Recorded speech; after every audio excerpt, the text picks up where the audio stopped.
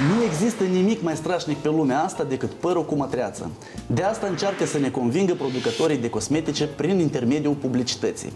Alt gen de publicitate o putem vedea pe fiecare stâlp. Din ea aflăm că cineva mereu încearcă să ne cumpere nouă păr cu bani mulți. De ce părul nostru costă așa de scump? A încercat să afle reporterul nostru de investigații, Mariana Galescu.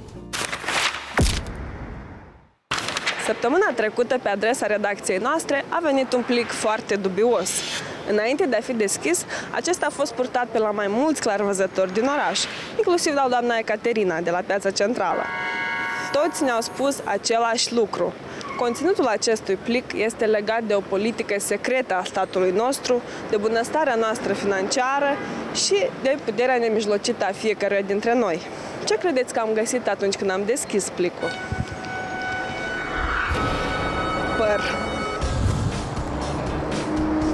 Cumpărăm păr, urgent, scump, cât mai lung.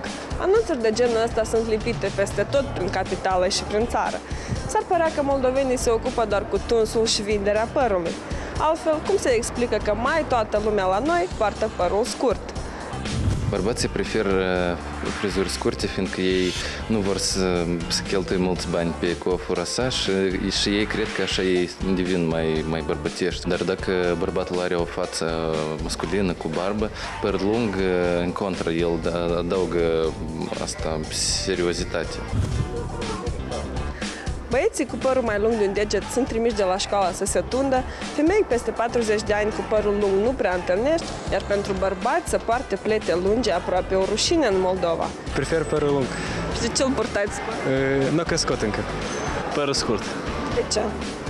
E mai confortabil. Sunt unii băieți care au părul lung, dar îngrijit, e, le stă bine. Парни с длинным мне, мне не нравится. И... Почему? Не знаю, наверное, в 90-х как-то было тяжело жить, все стриглись коротко, чтобы пореже мыть волосы и быть всегда в теме. Cât gay. Nu-mi plac băieți cu păr lung. Strânsa legătură dintre lungimea părului și putere s-ar putea să vi se pară o coincidență, însă nu este așa. Se știe încă de pe vremea regelui Samson, cunoscut drept unul dintre cei mai puternici oameni. Atunci când pletele lui au fost tăiate, puterea i-a dispărut, iar acesta a devenit un om obișnuit. și moldovenii au demonstrat că părul este puterea. Gheorghe Țopa, de exemplu, după ce și-a tuns pletele, a devenit mai puțin cunoscut.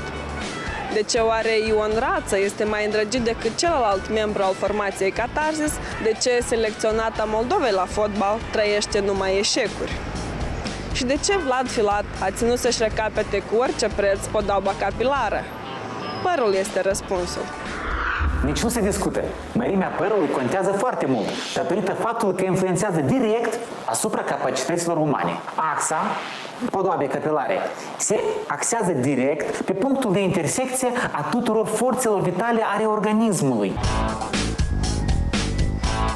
Lucrând la minister, mi s-a sugerat și mie să-mi scurtez părul, deoarece ministrii trebuie să fie prezentabili. Mi s-au oferit chiar și câteva opțiuni.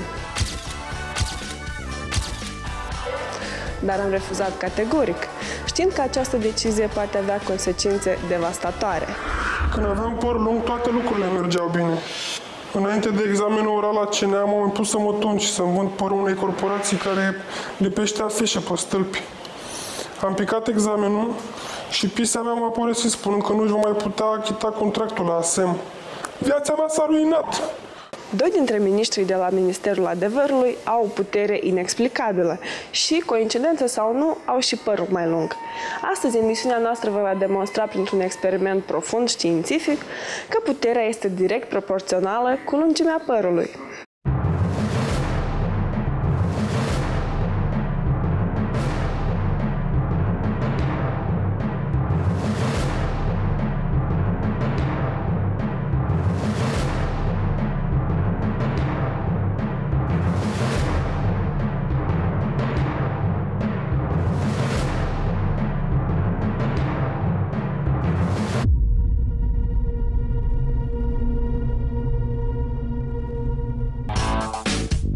S-au adunat prea multe probe și argumente în favoarea ipotezei că puterea stă în păr.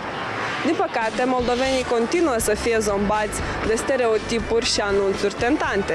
Dar va veni ziua când și la noi în țară lucrurile se vor schimba.